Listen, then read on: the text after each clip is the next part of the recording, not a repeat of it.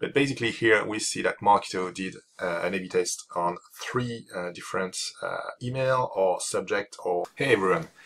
Today we will see how simple it is to create an A-B test in Marketo. I'm Sylvain Avril, founder of Merlin and Leonard and certainly the Leonard team and this is a new Marketo tip.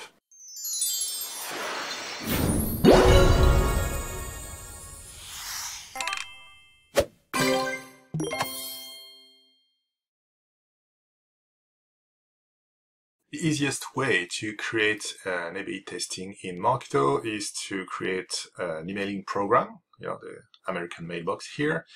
And in the control panel here, you have the possibility to add this A-B test. Let's do that. We arrive in a new screen where we can choose different between uh, four different A-B tests. So the subject line, the whole email, the from address, and date and time. So let's try subject line first. I have to choose one of the email I've approved in my emailing program. Let's take the test one. And here I can type as many, oops, sorry, as many subject as I want. I can also type a third subject. Just depends on uh, the, the sample size. So I've decided to uh, test those three subjects. Here Marketo will ask what's the size of the sample. So for instance, if I have 1000 email to send and I choose a 10% sample size, the test will run on 100 email. So 33, 33, 34. Marketo will test uh, the, the three subject on the 100 email. How do they decide the winner? That's me. That's for me to decide between all those criteria. So whether it's the open uh, rate, the click rate, the click to open rate, the engagement score, or a custom conversion, for instance, the fact that uh, a visitor has filled out a form or viewed a video or uh, visited the page, whatever, whatever is, is uh, gathered by Marketo. So here, if I click here, I will open a new page where I will have to get a trigger uh, dedicated to the winner criteria. I choose here whether I want to declare the winner uh, automatically or manually. And here I will get uh, an alert and I will have to come back in the program to declare the, the winner. Let's choose automatic. And in the next step, I choose when I want to run the test. So here by default, Marketo chooses uh, two days, which is a, a good idea.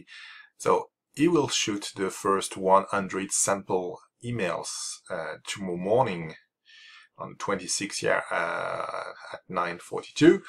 He will wait for two days and after two days he will uh, look at the criteria. So here let's take the click to open and send automatically the 900 remaining email for the winner. We can, for instance, choose the whole email type and here I will have to add prepare complete email I want to test. So I have just two emails and the rest is exactly the same. I just have to click on add to add those emails in the test. Yeah. And uh, if we take the from address, basically it's the same. I can choose my, my email here and type the from email and add another one if I want to. For the daytime, it's a bit different because I will not be able to declare automatically who's the winner. I will have to choose manually the winner after the time I decide because here the, the departure time of the different email will be uh, different. So here it's up to me to decide when I, would, I will want to stop the test.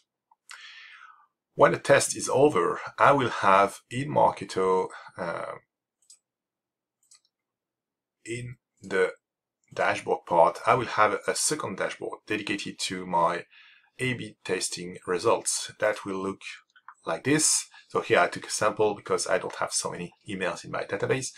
But basically here we see that Marketo did uh, an A-B test on three uh, different uh, email or subject or from, we don't know exactly. And we have different KPIs regarding the uh, deliverability, the click, the click to open, and the summary here. So I think it chose the click as winner. So the winner will be the C because the C has the most click.